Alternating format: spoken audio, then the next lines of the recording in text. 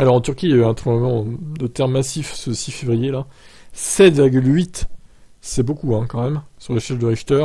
Plus de 1000 personnes ont été tuées par le tremblement de terre et d'autres répliques viennent s'ajouter pour aggraver la situation. Une telle secousse a fait au moins 5300 blessés.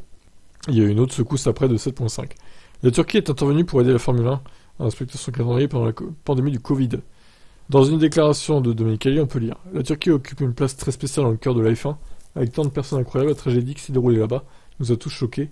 On prie pour les victimes et le peuple turc. Alors ça me fait penser à un truc, imaginez juste une catastrophe de genre en plein Grand Prix. Un tournoi de terre, mais que ce soit en Turquie ou ailleurs d'ailleurs.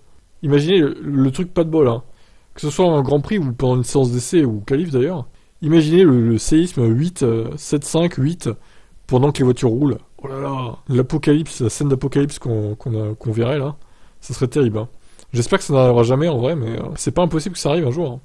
Bon, en tout cas, évidemment, on pensait pour les Turcs. Espérons que ça ne recommence pas, ces séismes très meurtriers. Je vous laisse commenter.